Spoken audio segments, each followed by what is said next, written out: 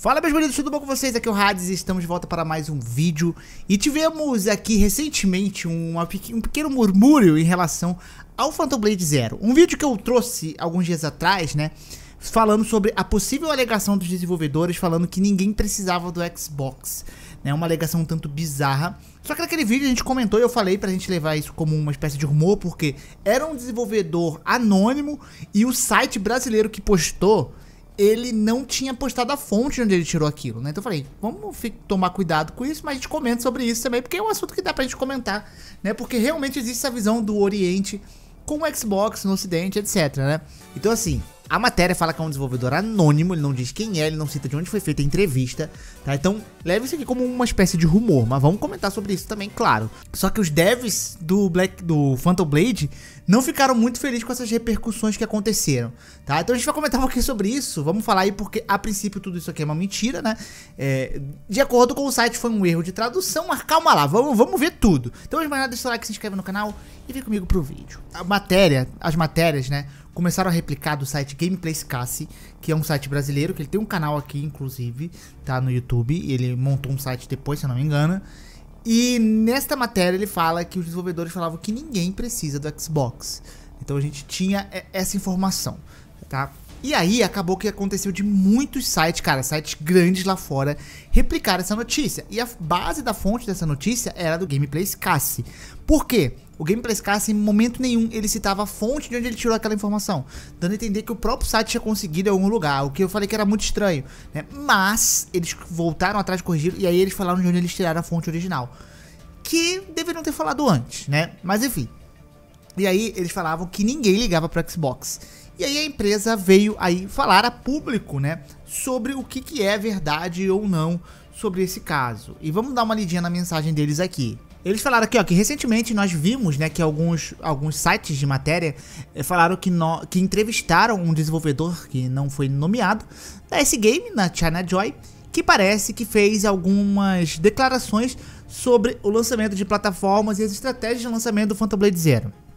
Nós queremos falar que esses, é, essas alegações não representam os valores ou cultura da S-Game e acreditamos fazer o nosso jogo acessível para todos e não temos nenhum tipo de plataforma ali definida para o Phantom Blade Zero. Nós temos um trabalho, nós trabalhamos é, em desenvolvimento e publicação, e publicação para garantir que os máximos de jogadores possam divertir, se divertir com os nossos jogos no lançamento no futuro.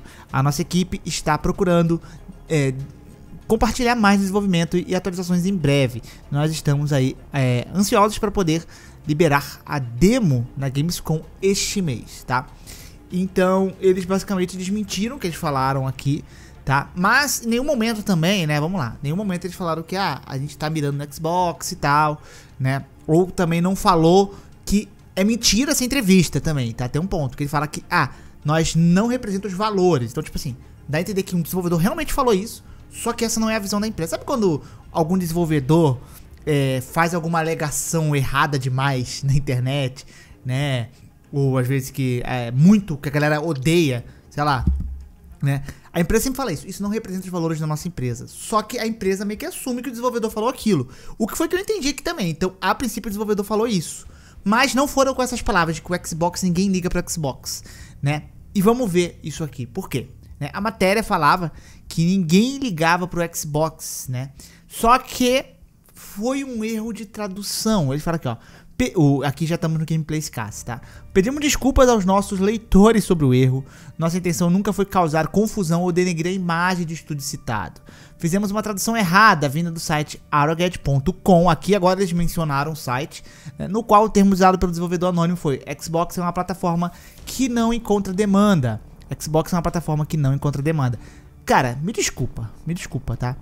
Mas ninguém liga pro Xbox mudar a tradução de uma plataforma que não acha demanda, não foi um erro de tradução, foi mais para dar uma chamada de atenção, cá entre nós, né? Pô, don't find demand, tipo, a, a, palavra demanda é uma palavra que ela é parecida com a demanda do português. Então é meio difícil até você errar. Né? Quando eles falaram que pegaram uma outra fonte, eu até pensei que eles pegaram uma entrevista do chinês. Aí beleza, você traduzir do chinês para português realmente é mais complicado mesmo. Mas a matéria que eles pegaram é uma matéria em inglês. Então assim, mano, em momento, ele até fala, em momento algum desenvolvedor não citou ninguém precisa dessa plataforma. E realmente, cara, né? Então foi assim, não, é, o erro de tradução foi meio que desculpa. Me desculpem, mas não, isso é, eles quiseram traduzir para dar uma chamada de atenção aí para poder conseguir uns cliques a mais, tá? Isso aí a gente consegue perceber, não tem como fugir. A gente tem a matéria original do Arrowhead, que eu nem sei se esse site é muito confiável ou não, particularmente eu nunca tinha ouvido falar dele, tá? E fala que o Congo é, e o B0 explicam por que eles ignoraram o Xbox. Poucas pessoas precisam desse console, tá? O título da matéria fala isso, poucas pessoas precisam desse console. Mas ele não fala ninguém precisa desse console, fala poucas pessoas precisam do console, tá?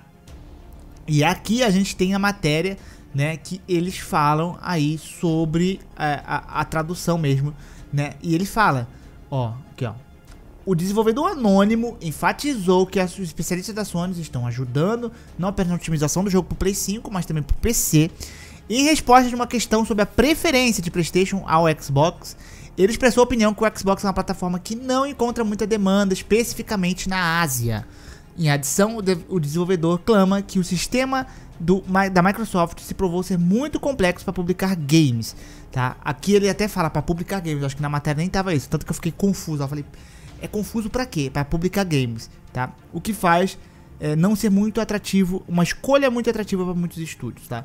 Então essa daqui é a alegação deles, do, do site oficial, da fonte oficial.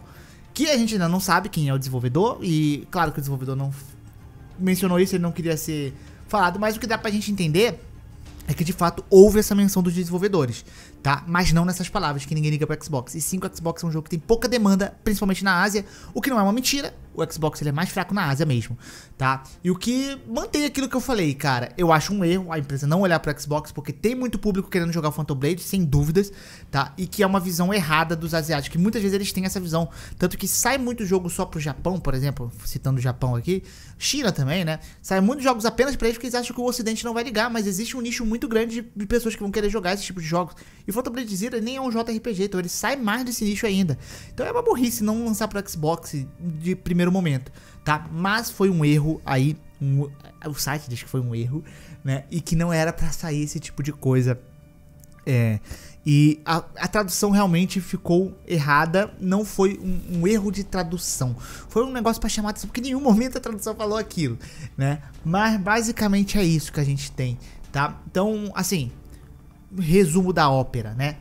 Os desenvolvedores, a princípio, não realmente não se importam tanto com o Xbox em questão de demanda, não que ninguém liga, mas em questão de demanda visto do público da Ásia. É basicamente isso, né? E é isso, né? A galera do Gameplay Cassi também, né, chegou aqui e falou, corrigindo sobre o artigo original que foi erroneamente traduzido, é que o desenvolvedor disse que é a plataforma que não encontra demanda. A galera ficou reclamando, né, porque eles não colocaram a fonte, eles colocaram a fonte só lá no site que a gente procurou, né? Mas poderiam colocar aqui, acho que isso aqui atrapalhou mais eles ainda, né? E a galera agora já tá caindo em cima dos caras aí, né? Porque foi uma mídia brasileira que estourou a bolha fora da internet aí, o que é muito louco.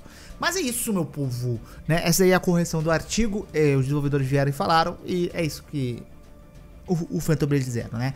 Então vamos ver, tomara que eles, é, até com essa notícia, tomara que eles olhem e falem, vamos lançar pra Xbox então, porque a gente viu que o público ficou bem chateado.